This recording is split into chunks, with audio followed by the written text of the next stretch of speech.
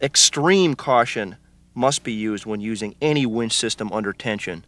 Be sure to keep your body away from the winch mechanism when in the process of winching. Be aware of anything that seems unusual and determine the cause.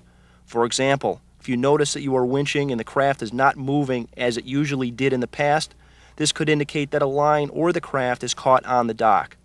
Release the line tension and fix the problem before tensioning the system.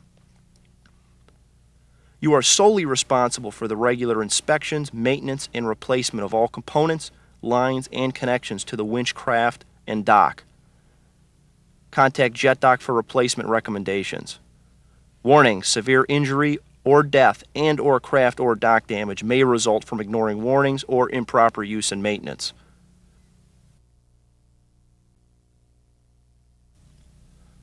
Line up the craft with the center of the dock during the approach. Initial contact with the dock shall be no more than a gentle 0 mile per hour kiss. Approach at less than idle speed and use neutral and reverse to slow the craft so that it makes gentle contact with the dock.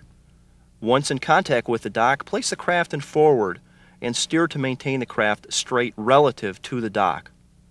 Apply slight throttle so that the craft's bow rises onto the dock and is positioned parallel with the safety pause position sticker.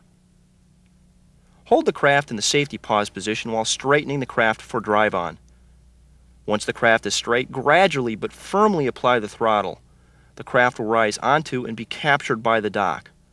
JetDock mandates that the safety pause position be used and that when first attempting drive on, the customer be extremely conservative with the amount of throttle applied. For example, apply 20% throttle instead of 30% and gradually increase until the dock captures the craft.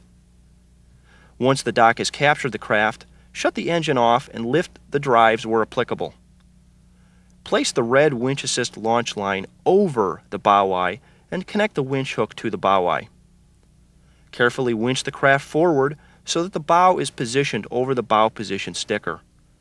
The craft is now in the night storage position. Remove tension from the winch and adjust the winch to prevent unreeling.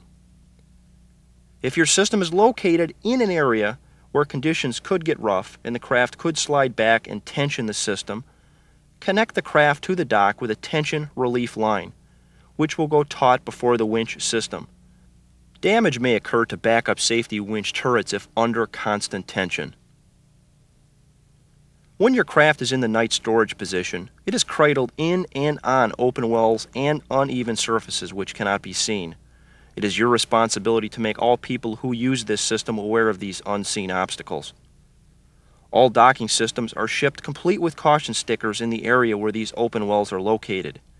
In the event that these stickers are missing, damaged, or unreadable, please contact JetDock immediately for free replacements.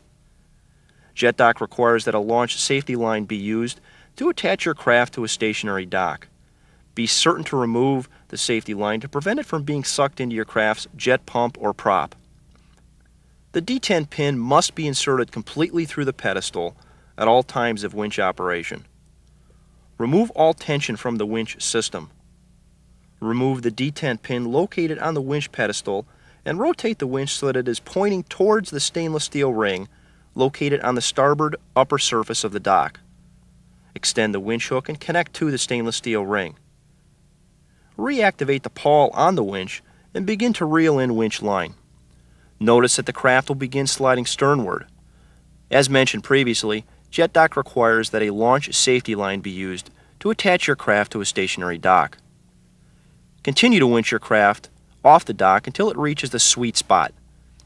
The actual location of the sweet spot is dependent upon the craft size and environmental conditions and can be defined as the position where the craft can be easily hand launched or powered off the dock.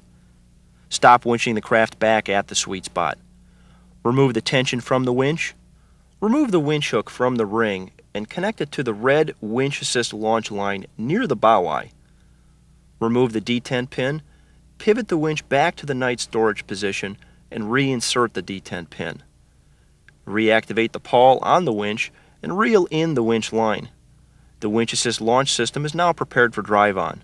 If you are launching a jet boat, a gentle tug from the port or starboard side before boarding is all that is needed to launch the craft. If you are launching an outboard or IO, Board the craft and situate yourself at the helm.